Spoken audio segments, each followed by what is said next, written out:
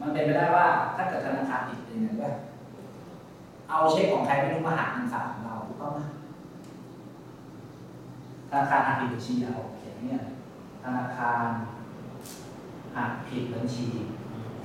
หรือบวกผิดบัญชีเนี้ยธนาคารเอาเช็คของใครไม่รู้ในกอซึ่งเราไม่ได้เขียนเช็คให้กับในกอแต่เอาเช็คของในกอมาหักลดยอดเงินฝากของเราเราไม่รู้จัก เข้าใจว่าผมว่ามีเงินฝากอยู่ อยู่ๆคุณน่ะเขียนเช็ค และคุณก็เขียนเช็คให้กับเพื่อนคุณ ไปเอาเงินจากบัญชีคุณ แต่ธนาคารเนี่ยรับเช็คมาเนี่ยบัญชีเออมาหักผมอะซึ่งผมเป็นเรื่องกับคุณสองคนเลยไม่เกี่ยวข้องเลย อันนี้เขาเรียกว่ากรณีธนาคารหักผิดบัญชี ถ้าเกิดธนาคารหักผิดบัญชีธนาคารก็จะทำไงฮะเขาจะหักเงินลดเงินเราลงใช่ไหมก็หักเงินเราลงหนึ่งร้อยคราวนี้ถ้าเกิดเรารู้ว่าธนาคารหักเงินเราผิด บัญชี คือไม่เราไม่ควรโดนหักแต่เราโดนหักเนี่ยเราจะต้องปรับไหมรวมกันเออก็บวกกับธนาคารหนึ่งร้อยจบนะนะวิธีการก็คือไปหักก็บวกเอาใหม่ ถ้าอยู่ๆธนาคารอยู่ๆมาบวกเงินให้เราสองร้อยมันอยู่ๆมาบวกเงินเช็คของใครไม่รู้ว่าเราไม่ได้เขียนมาเขาไม่มีใครเขียนเข้าบัญชีเรา แต่ธนาคารหยิบเช็คใครไม่รู้มาบวกให้เรา เราทำไงนิ้วหักหักฟอยก็หักสองร้อยที่ฝั่งธนา คือปรับธนาคารธนาคารผิดก็ปรับธนาคารอย่างเดียวยังไม่บอกจะโดนเออเดี๋ยวเองนะพูดเลยคุณกล้าจริงเหรอไม่ผมถามจริงอยู่มีคนโอนเงินเข้าเข้าบัญชีคุณมาห้าแสนบาทคุณกล้าใช้ป่ะโดนจับ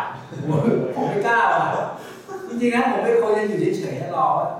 รอว่าเมื่อไหร่มันมาเอาผมไม่กล้าใช้โอนข้ามบัญชีผมกลัว เพราะในสุดท้ายตัวเงินมันสามารถหาได้แหละที่มา มันไม่มีใครอยู่ๆมาเอาเลยหรอกห้าแสนหรอกแล้วถ้าเกิดใช้ไปหมดแล้วทำไงเฮ้ยอยู่ๆมาใช้หมดแล้วโทรมาบอกคุณเงินคุณเงินผมโอนเข้าที่บัญชีคุณอยู่ไหนครับโอนคืนมาด้วย ใช้หมดแล้วสวยดีใครไม่ได้คนที่ผมเราเอาไปร้อนคุณดูแลผมเองเนี่ยเออผมเองในความจริงกันอย่างนั้นอะฝั่งนี้ว่ากิจการมันผิดกิจการมันผิดคุณจะแก้ไขนะมันจะมันจะผิดไงนะคุณว่าถ้าเกิดกิจการมันผิดผิดไงเอาแล้วนะ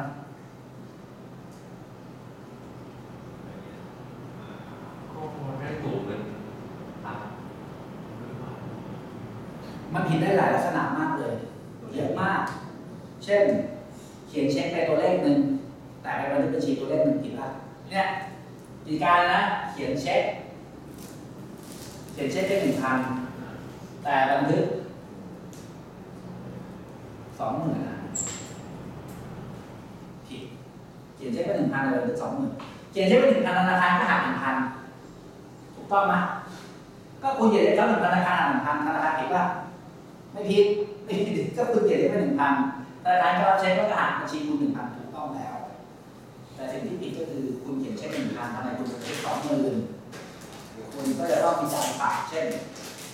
คุณเขียนไว้พันหนึ่งคุณคุณไปเช็คว่าหนึ่งร้อยแล้วไม่ได้คุณจะต้องปรับปรับที่ไหนปรับที่ไหนแบบมีร้านปรับมีการแน่นอนนะมันไม่รู้เหมือนธนาคารก็ทำถูกอยู่แล้วเขียนเช็คว่าอะไรราคาก็ตามนั้นปรับกิจการบวกหรือหัก ก็บวกเก้าร้อยครับอ๋อบวกบวกเก้าร้อยเมื่อกี้สอง เออถูกต้อง ผมก็ร้อยว่าหักไปพันหนึ่งนะควรเดี๋ยวเดี๋ยวเออที่เท่าไหร่เขียนเช็คพันหนึ่งบันทึกไปออกผิดเขียนเช็คเดี๋ยวคุณต้องต้นต่อคุณเขียนเช็คไปพันหนึ่งแปลว่าคุณต้องการจะลดยอดหนึ่งพันแต่คุณไปลดยอดแค่เพียงหนึ่งร้อย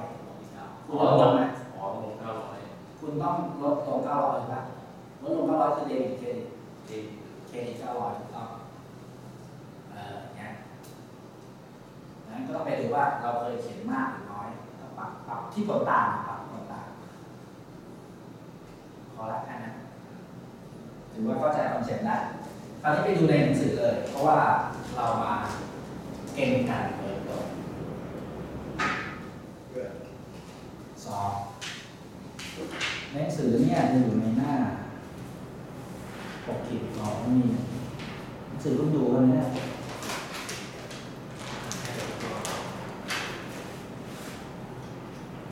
หน้าหก ขีดสิบหนังสือผมจะอธิบายนะจบหน้าหกขีดสิบนะ เพื่อไปทำในหน้าหกขีดสิบสองเอ่อเข้าใจแล้วเอ่ออย่างนี้ต้องทำไปแล้วครับแต่เขาไม่บอกเข้าไม่ได้เข้าครับอ่าคือหน้าหกขีดเปลี่ยนก็ดู เพราะว่ามันจากกิจการหาธนาคารจากธนาคารกิจการไม่ไม่ออกสอบเราดูหน้าหกขีดสิบสองเลย ดูโจทย์แล้ว ผมจะมีข้อโจทย์ให้คุณฟัง เวลาคุณทำเนี่ย คุณต้องทำในแนวดิ่งนะอย่างเงี้ยเพราะว่าเวลาคุณทำเนี่ยในหนังสือที่เขาตั้งต้นด้วยคุณเอารูปแบบเขาเลย มันจะมีตั้งต้นที่ธนาคารบันทึก ผมเห็นแล้วท่านนะธนาคารบันทึก กับกิจการบันทึก คุณเห็นป่ะสองหัวข้อนี้ก่อน ดังนั้นคุณก็ต้องอยากจะดูไปดูในโจทย์ว่าธนาคารบันทึกยอดเงินฝากณวันนี้เท่าไหร่โจทย์ก็ต้องบอกมาดูในโจทย์หน้า60นะบริษัททอมมี่ได้รับใบแจ้งยอดเงินฝากธนาคารณวันที่31ธันวาคมปีหนึ่งคือวันนี้ทำณวันที่31ธันวาคมปีหนึ่งนะสิ้นเดือนธันวาคมนะธนาคารบันทึกว่ามียอด14อันนี้ผมคุณก็ใส่14 5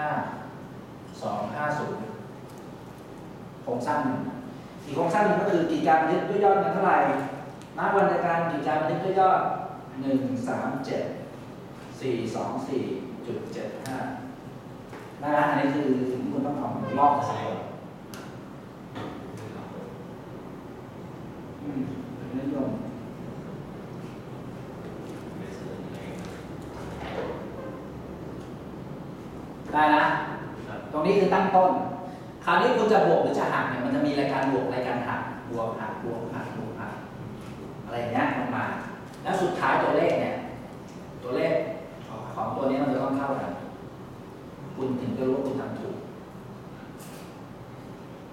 และตัวเลขบวกหักบวกหักมาจากไหนก็มาจากที่คุณไปตอบผมเนี่ยนี่แหละเอามาบวกมาหักนี่แหละอ่าคราวนี้เราก็มาดูกัน เริ่มตั้งแต่ตัวแรกเลยว่าจะบวกแบบนี้ ค่าธรรมเนียมธนาคารเขาบอกค่าธรรมเนียมรู้แล้วธนาคารหักแน่นอนใช่ป่ะเดือนธันวาคมธนาคารให้หักหักประจำบัญชีละแปดร้อยเจ็ดห้าบาทแต่บริษัทยังไม่ได้บันทึกอะข้อนี้คุณตอบได้เลย มันคือมันคือค่าธรรมเนียมนี่แหละแล้วเราก็บอกแล้วว่าอะคือการดังนั้นเวลาผมทำผมจะทำยังไงนะบวกแล้วก็หักอันนี้ก็บวกแล้วก็หักแล้วก็เราก็เอาตามโจทย์มาใส่ก็ คือให้มันอยู่ในกลุ่มของมัน มันจะมีแค่บวกกับหักสองอย่างก็วันนี้ก็บันทึกหักเลยครับอ่าใช่ก็อยู่ในข้อนี้นะค่าธรรมเนียมค่าธรรมเนียมเท่าไหร่นะแปดร้อยเจ็ดสิบห้าถูกป่ะครับคุณยังไม่ต้องไปดูในเฉลยนะ เดี๋ยวมันทำได้ตรงกันแหละคราวนี้ในตัวหักผมจะใส่เป็นเป็นตัวย่อยมันไงหักแต่ถ้าบวกไม่ต้องใส่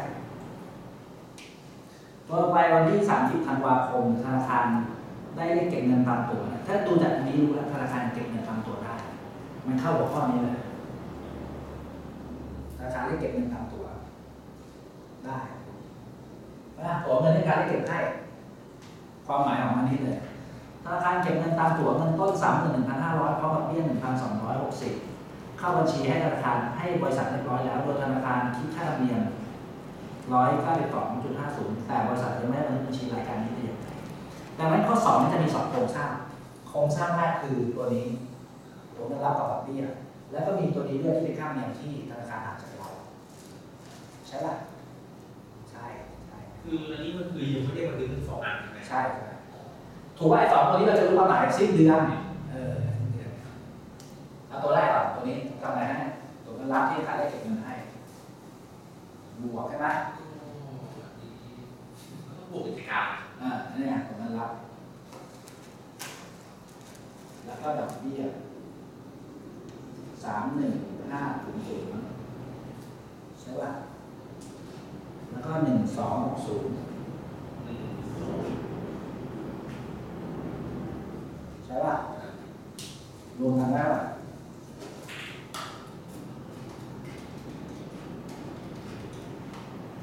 สามสองเจ็ดหกศูนย์ไม่ต้องใส่แบงก์ก็บวกคือยอดตรงนี้เป็นยอดองค์ประกอบแล้วก็ยอดสุทธิเท่าไหร่ก็ออกขวาแล้วมันมีค่าธรรมเนียมด้วยนะธนาคารหักค่าธรรมเนียมไปหนึ่งร้อยเก้าสิบสองจุดห้าศูนย์ค่าธรรมเนียมนี่ต้องหักฝั่งกิจการใช่ไหมหักอีกดังนั้นตัวนี้ก็น่าจะกลายเป็นอย่างนี้แปดร้อยเจ็ดสิบห้าบวกหนึ่งเก้าสองจุดของของเก่าจุด อย่างเงี้ยมันก็จะกลายเป็นยอดที่รวมกันทุกทีค่าธรรมเนียมอะแปดเจ็ดห้าบวกหนึ่งเก้าสองจุดห้าได้หนึ่งศูนย์หกเจ็ดจุดห้าตรงนี้กลายเป็น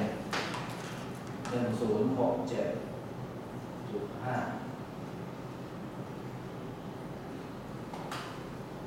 ตัวหาร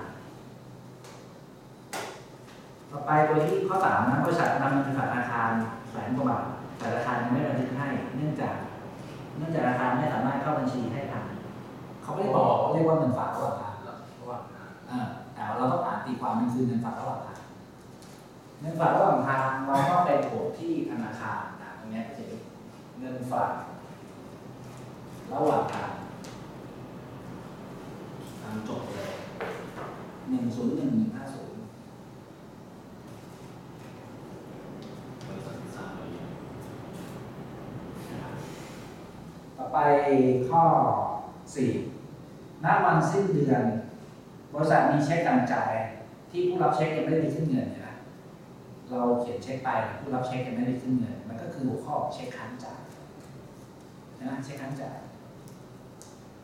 เจ็ดหมื่นกว่าบาทเช็คค้างจ่ายก็คือนี่เลยหาธนาคาร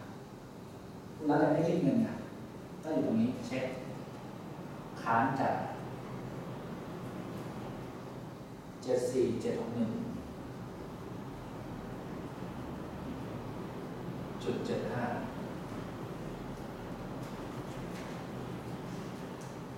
ต่อไปข้อห้าวันที่ 30 ธันวาคมธนาคารปฏิเสธการจ่ายเงินตามเช็คของลูกค้า เนื่องจากจำนวนเงินไม่พอจ่ายก็คือเช็คเร่งเดี๋ยวเราในในเรื่องเรียนเขารู้สึกว่าเราเรียกว่าเช็คคืนปฏิเสธการจ่ายเงินก็เราก็ต้องมาลดยอดเรา นะธนาคารลดยอด